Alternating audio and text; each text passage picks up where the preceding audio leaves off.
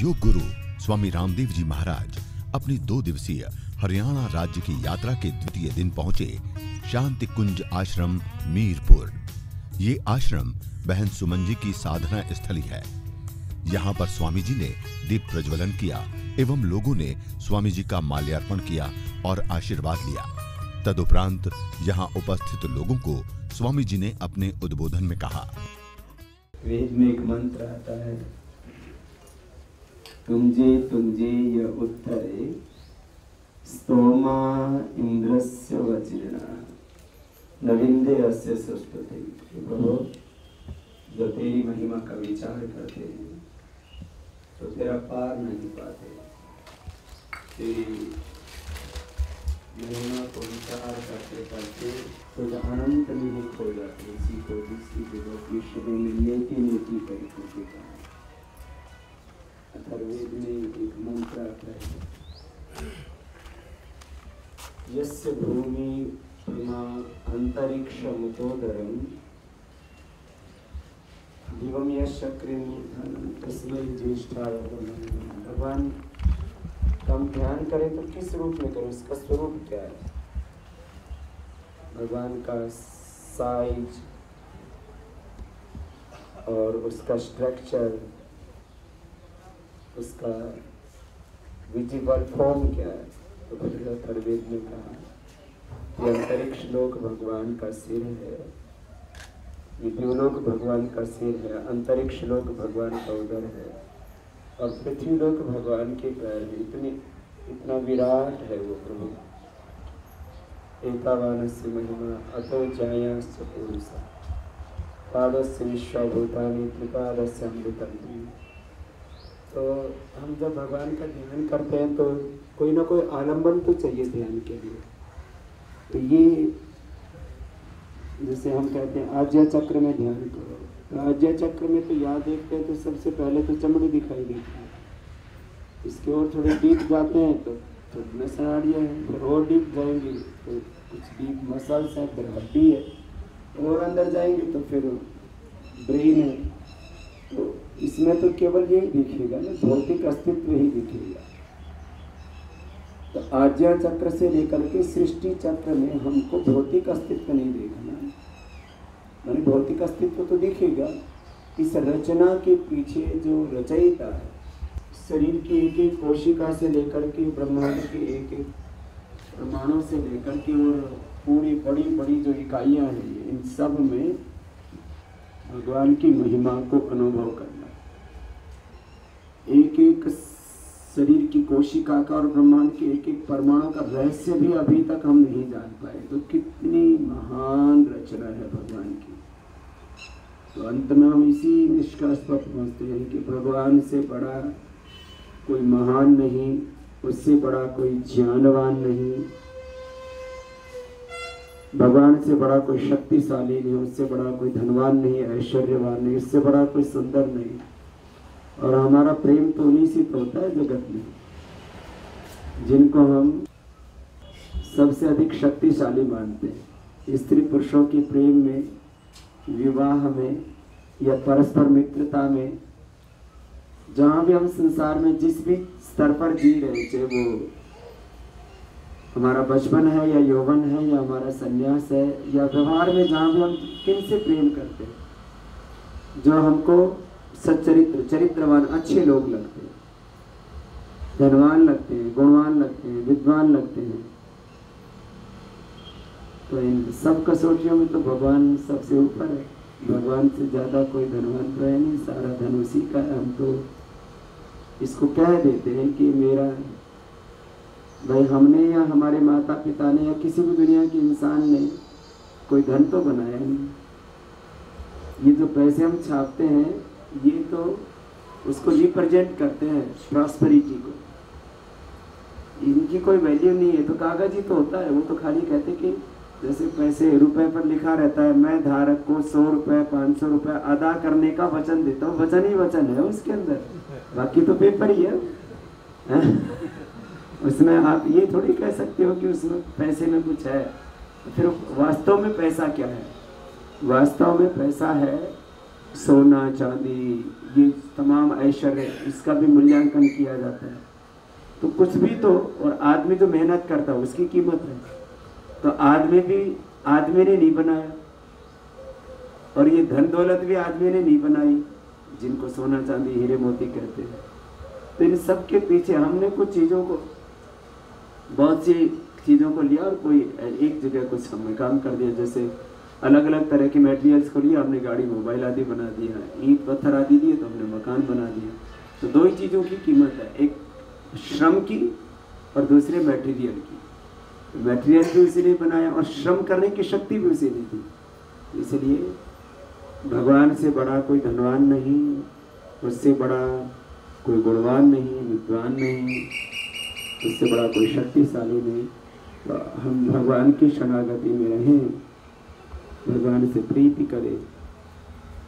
हमसे भगवान अत्यंत प्रेम करने लगता है और हमारे माध्यम से भगवान काम करने लगता है। ये बहुत ऊँची बात होती है।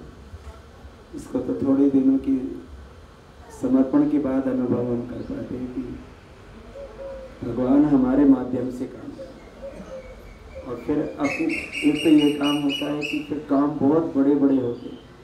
जब हमारे माध्यम से भगवान इंसान काम करेगा तो छोटे काम होंगे। आज हम लोग काम कर रहे हैं तो हमारे माध्यम से ईश्वरीय शक्ति काम कर रही होती है। हम लोग निमित्त मात्र हो जाते हैं। इसलिए बड़े बड़े बड़े काम आपको दिखाई देते हैं। दूसरी बात यह होती है कि इसमें अपनी इच्छा नहीं रहती। आदमी जित, जितने भी दुनिया में दुखी हैं, वो कैसे दुखी होते?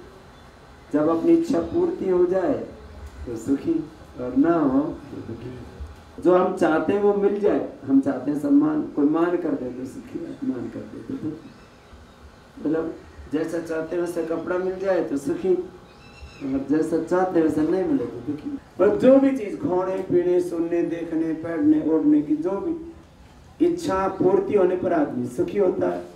इच्छा पूर्ति ना हो तो दुखी हो जाता है। जो भगवान के क्षण में जाता वो इच्छा से मुक्त हो जाता है। फिर कहते जो आत्मा में परमात्मा कह रहा वो करना, जिसमें रोकता उसमें रुक जाना, जिसमें कहता उसमें करना, भाई, और कोई काम ही नहीं ज़िंदगी का। हम लोग इस स्तर पर जीते अपनी बड़ाई करने के लिए नहीं कह रहे। आत्मा में बैठा परमात्मा सबको प्रेरणा देता है। थमने भी दे, हमने भी दे। कोई काम करने में तो रोक और किसी काम करने में यूँ कर ले। तो जिस काम को करने में परमात्मा रोके रुक जाना। यही भगवान की, देखो दो रूप में भगवान की उपासना एक तो सब जगह भगवान को देखना, ईशावासन सर्वम। सर्वम खल इदम ब्रह्मा, वासुदेव सर्वम पौराणिक लोग सिया राम में सब जग जानिए एक तो ये यो माम पश्यति सर्वत्र। तो आप लोग ऐसे दो भाव में थे एक तो भगवान को हर में अनुभव करें और हर एक में भगवान का अनुभव करने का मतलब है फिर उसके प्रति बहुत ऊँची भावना ऊँची उस श्रद्धा कृतज्ञता का भाव रखते उसके प्रति जो अपना कर्तव्य है वो भगवान की पूजा है। इसलिए दो ही चीज़। सब में भगवान को अनुभव करो। पति में, पत्नी में माता पिता में, गुरु में, मित्र में, पुत्र में, सब में पूरे इंसान में और इंसान से अलावा जो भी अस्तित्व है, जड़, चेतन, पेड़, पौधे, वनस्पति, जीव। तो एक तो ये। और उसमें भगवान का अनुभव करके उसके प्रति जो अपना कर्तव्य है, उसको पूरा करना ही भगवान की पूजा। फिर भगवान का ध्यान क्या हो गया? ध्यान इसका ही देना कि जिस जो भगवान प्रेरणा देता है उसको सुनना और वैसे ही जीना तो ये ध्यान है। हम लोग कहते हैं, ध्यान नहीं लगा। ध्यान का लगाने का मतलब ये नहीं है कि आपने गायत्री मंत्र की, ओंकार कितनी बार जपा हो तो ध्यान का माध्यम है, ये ध्यान नहीं है। तो ऐसे आप लोग जिए, आप लोग भगवान के स्वरूप को भी समझें, उसकी पूजा करें, ठीक से उसका ध्यान करें, अर्थात आत्मा में जो परमात्मा प्रेरणा देता है, उसी के अनुसार जिए तो यही चौबीस घंटे का ध्यान है। स्वामी सोमाना जी महाराज कहते थे नूरगढ़ में बहुत ऊँचे ऋषि हुए देखो, चौबीस घंटे का ध्यान ही रहना चाहिए अब एक दो मिनट तो भगवान को ध्यान करें। बाकी तो फिर भगवान भूल तो आप सबको भगवान खूब शक्ति दे, खूब भक्ति दे। शक्ति इस बात की दे कि हम जिसको सच मानते हैं, उसको हम कर पाए। और भक्ति इस बात की दे कि हम भगवान जो हमारी आत्मा में प्रेरणा देता है, उसको हम सुन पाए और वैसे हम जी पाए। सबको बहुत बहुत शुभकामनाएँ सुमन जी को बहुत आशीर्वाद। शांति कुंज आश्रम मीरपुर में लोगों को आशीर्वचन देने के पश्चात स्वामी जी पहुँचे नारनौल में पतंजलि चिकित्सालय का उद्घाटन करने। यहाँ पर स्वामी जी का स्वागत बहन सुमन जी ने तिलक व पुष्पगुच्छ भेंट करके किया। इस मौके पर स्वामी जी के साथ डॉक्टर यशदेव शास्त्री जी एवं नागल चौधरी विधानसभा के एमएलए श्री अभय सिंह व अन्य गणमान्य व्यक्तियों का भी बहन सुमन जी ने तिलक कर स्वागत किया। इसके पश्चात स्वामी जी ने अपने कर कमलों द्वारा नारनौल में पतंजलि चिकित्सालय का उद्घाटन किया। इस मौके पर पत्रकारों को संबोधित करते हुए स्वामी जी ने कहा योग से रोग ठीक होते हैं, लेकिन किसी किसी की बॉडी रेस्पॉन्ड ही नहीं करती, इतनी वीक हो जाती है। तो उसके लिए केमिकल्स का सहारा ना लेकर के, प्रकृति का जो माँ की तरह है, उसका सहारा लिया जाए। इसके लिए ये परंपरा स्वामी रामदेव ने नहीं शुरू की, ये महर्षि चरक, शुश्रु, धनवंतरी वाघ भट्ट आदि ऋषियों ने शुरू की। और आज पूरा वर्ल्ड नेचुरल मेडिसिन की ओर आ रहा है। अभी हमारे आश्रम में बेलारूस से, रूस से, ईरान से, पूरे यूरोप से डेलीगेट्स आ रहे गवर्नमेंट्स के, कि स्वामी जी हम अपने देश में ये नेचुरल मेडिसिन के काम को आगे बढ़ाना चाहते हैं। और पूरी दुनिया में करीब 100 लाख करोड़ रुपए का एलोपैथिक दवाओं का कारोबार है। आरोग्य के साथ हमारी आर्थिक समृद्धि के लिए भी यदि हम आयुर्वेद को प्रमोट करते हैं नेचुरल मेडिसिन को प्रमोट करते हैं हर्बल फ़ूड सप्लीमेंट्स को प्रमोट करते हैं तो इससे देश का आर्थिक स्वावलंबन भी होगा और Bharat world economic super power भी बनेगा। इसलिए यहाँ हमारे लिए तो ये व्यापार है ही नहीं। देखो, दो तरह से आर्थिक गतिविधियाँ होती हैं। एक व्यापार के लिए, एक उपकार के लिए। हमने तीन पैरामीटर बनाए world class quality low price और जो भी प्रॉफिट होता है उससे हंड्रेड परसेंट चैरिटी आज इस देश में टाटा, बिरला, डालमिया, अंबानी, अडानी बड़े बड़े बिजनेसमैन हैं। लेकिन कोई भी बिजनेसमैन इस देश में सौ दो सौ करोड़ रुपए की चैरिटी हर वर्ष नहीं करता है। पतंजलि योग पीठ की ओर से हम कम से कम 200 करोड़ रुपए से ज़्यादा की चैरिटी हर साल करते हैं। किसके लिए है ये सारा? मेरा कोई पर्सनल वेल्थ नहीं है। आचार्य बालकृष्ण जी का कोई पर्सनल वेल्थ नहीं है। और ये जो अभी सेंटर हम आज यहाँ खोल रहे हैं, ये गुरुकुल का सेंटर है। नारनौल वाला भी और अभी हम जा रहे हैं बहरोड वाला भी। यहाँ से जो भी प्रॉफिट होगा, वो गुरुकुल की सेवा में लगेगा। ये किसी का व्यक्तिगत नहीं है। तो इससे और बड़ी चीज़ क्या हो सकती है कि जो भी पैसा है देश का, वो देश में रहे, विदेशी कंपनियाँ लूट के लेके ले जाएँ। साबुन, shampoo, toothpaste, cream, powder, juice, सब वही बना रही हैं। देश का पैसा देश में रहे और सेवा में लगे।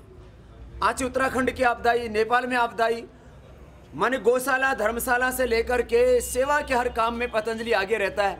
क्या लक्ष्य बनाने वालों ने लाइफ बॉय कोलगेट पेप्सोडेंट बनाने वालों ने कोका कोला पेप्सी बनाने वालों ने, एक भी कोई धर्म का काम किया और हमने धर्म छोड़ के दूसरा कोई किया ही नहीं। अब हमसे लोग बयान की अपेक्षा नहीं करते। अब कार्रवाई की अपेक्षा करते हैं। हमने आदरणीय जेतली जी से बात की है और इस दिशा में काम सबसे पहले गवर्नमेंट बनी तो पहला निर्णय कैबिनेट का काले धन पर ही था और अब बाहर के काले धन को लेकर के इंटरनल इकोनॉमी के काले धन को लेकर के, बड़े नोट्स के डिमोनोटाइज को लेकर के, क्योंकि जो भी कैश ट्रांजेक्शन्स होते हैं, वो ट्रेसेबल नहीं होते तो उससे भी वो ब्लैक मनी जनरेट होता है। काले धन के जो पूरे के पूरे मुद्दे के ऊपर सरकार काम करना शुरू तो कर दिया, उसमें और गति की आवश्यकता और गति भी आई। हरियाणा को ये करेंगे, पूरे वर्ल्ड के नक्शे पर हरियाणा योग, आयुर्वेद और भारतीय संस्कृति के अभ्युदय के लिए पहचाना जाएगा।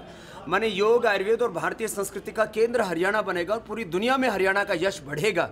और इससे टूरिज़्म भी बढ़ेगा हरियाणा का, यहाँ का आर्थिक स्वावलंबन भी बढ़ेगा। इसके साथ साथ एजुकेशन के मामले में भी खास करके योग, आयुर्वेद और इंडियन कल्चर एंड उसके साथ हमने अभी आचार्य कुलम को भी जोड़ा है। Modern education and ancient Vedic education का एक बहुत बड़ा समन्वय होगा।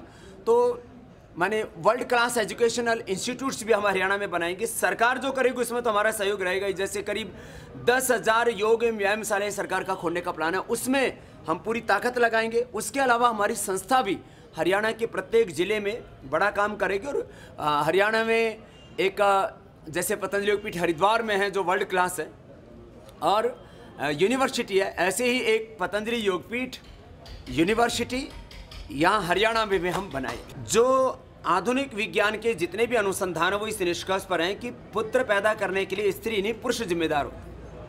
और हमारी दवाई माताएँ, बहनें खाती हैं और शिवलिंगी पुत्र जीवक लड़की दवा खावे तो लड़की तो हो सके। मानी माताएँ दवाई खाएँगी तो बेटी तो पैदा हो सके छोरो नहीं पैदा हो। तो ये बिना मतलब की बात कर दी कि छोरी दवाई खा रही है, अरे छोरो हो जाएगो। ये तो मतलब ऐसी भी अज्ञान मूलक बात है ये। तो पुत्र जीवक का शिवलिंगी का लड़का पैदा करने से कोई प्रयोजन नहीं है। विशुद्ध रूप से इनफर्टिलिटी के लिए है। नाम को लेकर के भ्रम फैलाना ठीक नहीं है। नाम रखने की संस्कृत में एक बहुत पुरानी परंपरा है। अरे संस्कृत की तो छोड़ो। अपने यहाँ गोत्रों में किसी का हाथी गोत्र हो तो कोई हाथी थोड़ी है? किसी का सांप गोत्र हो तो नाग गोत्र हो तो कोई सांप थोड़ी है? तो ये नामों की परंपरा अलग है, उसका एक अलग तरह का इतिहास होता है। इसका लड़का पैदा करने से कोई मतलब यहाँ थोड़ी शिकायत रहती थी कि सेंटर पर सभी मेडिशंस, सारी चीज़ें उपलब्ध नहीं होती। तो इस बार हम आप लोगों से प्रॉमिस करके जा रहे हैं यहाँ वैद्य की सेवा से लेकर के सारे करीब 500 प्रोडक्ट्स की रेंज है, वो पूरी उपलब्ध होगी। नारनौल में पत्रकारों को संबोधित करने के पश्चात स्वामी जी पहुँचे नागल चौधरी विधानसभा के एमएलए श्री अभय सिंह के निवास स्थान पर, जहाँ पर उन्होंने भोजन प्रसाद ग्रहण किया। इसके पश्चात स्वामी जी चल दिए आर्ष गुरुकुल खानपुर नारनौल की ओर, जहाँ पहुँचने पर स्वामी जी का स्वागत मंत्रोच्चार के साथ तिलक व माल्यार्पण से किया गया। आर्ष गुरुकुल खानपुर नारनौल। स्वामी जी महाराज की गुरु भूमि है। यहाँ पर स्वामी जी व अन्य गणमान्य व्यक्तियों ने हवन यज्ञ किया एवं लोगों को प्रेरणादायी उद्बोधन दिया।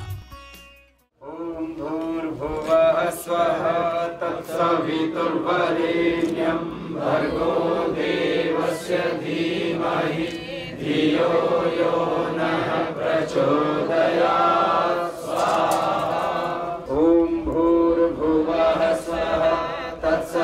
तत्सवितुर्वरेण्यं भर्गो देवस्य धीमहि धियो यो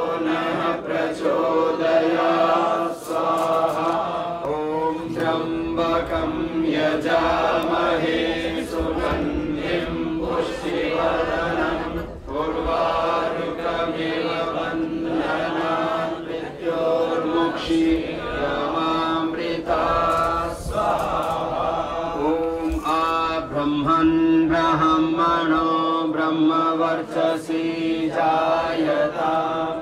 आराष्ट्रे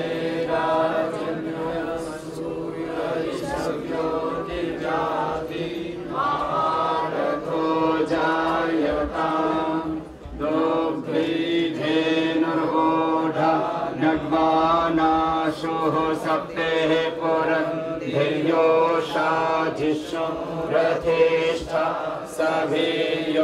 युवास्य यजमानस्य वीरो जायता। निकामे निकामे नः पर्जन्यो वर्षतु फलमत्यो न औषधयः पच्यन्ताम् योगक्षेमो नः कल्पताम्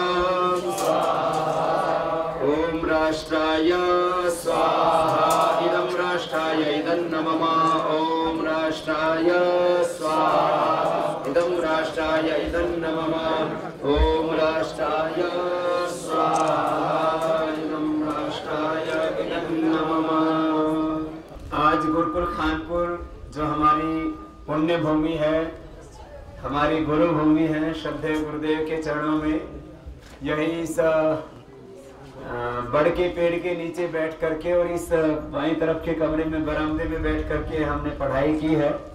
जब हम आए थे, खाली एक कमरा था यहाँ, थोड़े इधर वाले कमरे भी थोड़े थोड़े से बने हुए थे और अब काफ़ी भवन निर्माण भी काफ़ी हो गए हैं और गुरुकुल भी और भव्य और दिव्य हो गया है।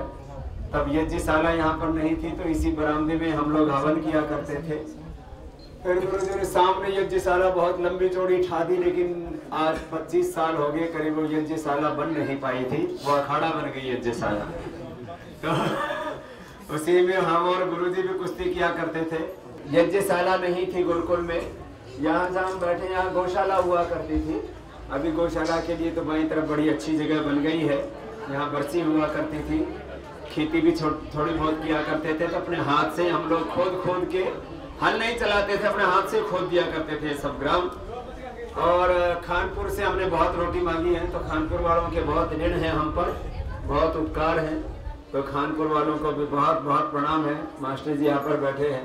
अब बुज़ुर्ग हो गए ये भी, पहले ये भी बड़े तगड़े थे, अभी भी ऐसे तो तगड़े हैं। आज की यज्ञशाला का निर्माण हमारे यजमान श्री सत्य स्वरूप जी सुपुत्र और श्री विष्णु जी और इनकी देवी जी, बहुत बहुत आशीर्वाद है। माँ, गुरुकुल में ऐसी सेवा करने का भी सौभाग्य सौभाग्य मिले, ये बहुत बड़ी बात है। और शिष्ट के की की यज्ञ में हम इसलिए अर्पित करते हैं कि हमारी कामनाएँ पूर्ण हो। जो भी हम यज्ञ में संकल्प करते हैं, हमारा संकल्प पूर्ण होता है, ऐसी हमारी मान्यता है, ऐसी हमारी श्रद्धा, ऐसा हमारा विश्वास है। तो हम अपने मन में पवित्र संकल्प लेकर के आहुति यज्ञ अर्पित करेंगे। ओम यदस्य कर्मणोत्यरीचम यद्वान्यूनमिहाकरम। अग्निष्ठ स्विष्ठ कृत विद्या सर्वं शिष्टम सुहृतम करोतु।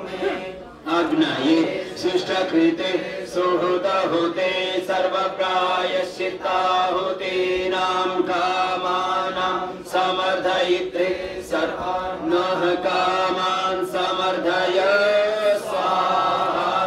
इदमग्नये शिष्टकृते इदन्न मम केवल घी क्या होती? ओम स्वाहा। प्रजापतये इदन्न मम सामग्री क्या होती से पूर्णा होती। ओम सर्वं वै पूर्णं स्वाहा। ओम सर्वं वै पूर्णं स्वाहा। ओम सर्वं वै पूर्णं स्वाहा।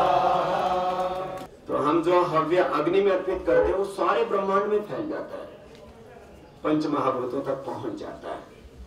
सुबह से शाम तक अपने रोम रोम से दुर्गंध निकलता है, मलमूत्र से दुर्गंध निकलता है, श्वास में से भी दुर्गंध निकलता है। मनुष्य जितना दुर्गंध फैलाता है, कुछ तो सुगंध फैलाए इस इन्वायरमेंट के बैलेंस के लिए। ग्लोबल वार्मिंग के लिए हमारे ऋषि ने इतनी बढ़िया व्यवस्था की थी कि तो सारी प्रकृति के प्रति पूज्य भाव रखना है कि सारी भगवान की रचना है, इसके प्रति जो अपना कर्तव्य है, उसको हम पूरा करें। यही भगवान की पूजा। एक तो भगवान का दर्शन। ये सारी सृष्टि भगवान का प्रत्यक्ष दर्शन। है हमने पतंजलि उपपीठ में बहुत कुछ बनाया। पूरी दुनिया में योग, आयुर्वेद, अध्यात्म और वैदिक संस्कृति को लेकर के इतना बड़ा संस्थान कहीं पर नहीं है जो पतंजलि योगपीठ में। पूरी दुनिया में वेटिकन सिटी जो बहुत बड़ा अड्डा है, बहुत बड़ा केंद्र है, बहुत बड़ा इंस्टीट्यूट है उनकी वो कैपिटल है ईसाइत की वेटिकन सिटी उसमें भी इतना बड़ा इंफ्रास्ट्रक्चर नहीं होगा जो आज पतन है। लेकिन हमने वहाँ पर मंदिर नहीं बनाया। तो बहुत से पूछते बाबा जी मंदिर क्यों नहीं बनाए? मैंने कहा, अभी तक यही समझ में नहीं आया कि भगवान का मंदिर बनाए कैसे। अथर्वेद में कहा, यस्य भूमि प्रमाण तरिक्षम उदोदरम दिवम यश चक्र मूर्धारम तस्मय ज्येष्ठाय ब्रह्मणे नम। द्व्युलोक भगवान का सिर, अंतरिक्ष लोक भगवान का उदर, पृथ्वी लोक भगवान की इतनी बड़ी प्रतिमा है। तो या तो सारा ब्रह्मांड बनाना जिस दिन आ जाए, उस दिन भगवान की प्रतिमा बनाए। और उससे पहले बन नहीं सकता। और जब बना हुआ है, उसी को देख लो, भाई, यही भगवान का दर्शन तो ये सारा स्वरूप भगवान का मूर्त रूप है, यही भगवान का दर्शन है। तो साधुओं के पास जाते हैं तो कहते हैं, भगवान का दर्शन करना बताते हैं। तो ये भगवान का दर्शन है। इसमें भगवान को देखो, महर्षि दार शास्त्र कहते हैं ये इस रचना में, उस रचयिता का प्रत्यक्ष है। ये उस भगवान का प्रत्यक्ष है जैसे कहते हैं भगवान दिखता नहीं this all universe is the visible form of God and this all universe is the ultimate creation of the तो इस, ये भगवान का दर्शन है, ये सारा ब्रह्मांड। गीता में कहा, यो माम पश्यति सर्वत्र। जिसको वेद में कहा ईशावास्यमिदम सर्वम ओम सर्वम खलो इदम ब्रह्म। वासुदेवा सर्वम। तो ये ये तो हो गया भगवान का दर्शन। भगवान की पूजा क्या है? ये तो भगवान का प्रत्यक्ष हो गया। भगवान की पूजा इस पूरे अस्तित्व को भगवान का स्वरूप मान करके इसके प्रति जो अपने कर्तव्य, माता के प्रति, पिता के प्रति, गाय, भैंस के प्रति, पेड़ पौधों के प्रति, मिट्टी के प्रति, हवा के प्रति, पानी के प्रति जो अपना कर्तव्य है, उसको पूरा करना यही भगवान की पूजा। और इस इस, और फिर ध्यान क्या है? ये तो दर्शन बता दिया, पूजा बता दी, फिर ध्यान क्या है? ध्यान ये है कि आत्मा में परमात्मा हर समय प्रेरणा देता है। जिस काम के लिए परमात्मा बोले यस हाँ उस काम को करना। और जिस पर, जिस काम को करने से परमात्मा रोके अंतरात्मा में हर समय आवाज़ आती है परमात्मा की प्रेरणा बोलो पुकार बोलो आवाज़ बोलो इंट्यूशन बोलो उसका इंस्पिरेशन बोलो ऑर्डर बोलो जो नाम दो उसको। जिस काम को करने से परमात्मा रोके, वहाँ रुक जाना। और जिस काम को करने के परमात्मा साथ दे, हिम्मत दे, ताकत दे, उत्साह दे, उसको करना, यही भगवान का ध्यान ये तो 24 घंटे का ध्यान है। जब एकांत में बैठते हैं तो उस समय एकांत में परमात्मा के आनंद की अनुभूति होती है। वो थोड़े क्षणों के लिए होता है। उसको बोलते हैं योग। योग चलेगा एक से दो घंटा, ज़्यादा से ज़्यादा चार घंटा। बाकी चलेगा बीस घंटा कर्म योग माने एकांत में परमात्मा के आनंद को अनुभव करना उसकी नीरवता को कितनी भगवान की दिव्यता है। और कर्मयोग है जो परमात्मा के आगे उसके अनुसार कर्म करो बस। इतना ही योग अध्यात्म संस्कृति का सार है। बाकी तो विस्तार है उसका सार। यहाँ से हमने यात्रा शुरू की थी। ज़िंदगी में बस एक ही बात रखी। भगवान की आज्ञा की कभी अवहेलना नहीं की और मेहनत की लगातार। निरंतरता चाहिए देखो भाई। ऐसा नहीं, एक एक दिन में तो आकाश पाताल एक कर दे और दूसरे दिन ढीले हो जाए। निरंतरता के साथ। गतिशीलता ऐसी जैसे सूर्य कभी भी जब से सृष्टि बनी, आज तक एक बार भी अपनी मर्यादा का अतिक्रमण नहीं किया उसने। स्वस्थ पंथा मनोचर्य सूर्य चंद्र तो मैं, हमारे सबसे पहले तो भाई अतुल द्विवेदी जी, जो हमारे डीसी हैं नारनौल के, वो पहली बार यहाँ कार्यभार संभालने के बाद खानपुर आए। मैंने कहा, भाई, ये तो हमारी गुरु भूमि है पुण्य भूमि है।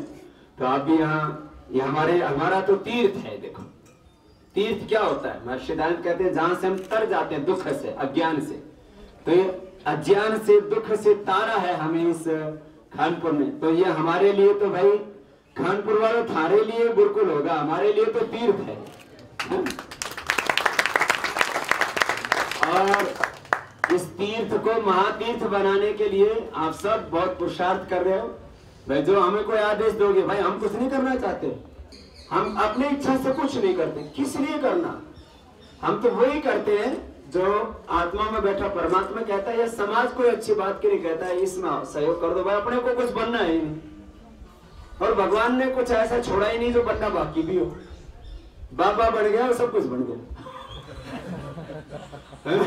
तो, तो आप सब लोग यहाँ खूब अच्छा कर रहे हो आगे भी खूब अच्छा करें। माधव द्विवेदी साहब से कहूँगा इसका खास ध्यान रखना डीसी साहब ये हमारे गुरु भूमि तो ये कोई भी गुरुकुल वालों को कोई या खानपुर वाले भाई ये ये भाई हमारी गुरु भूमि के लोग हैं हमारे लिए तो सब पूज्य है।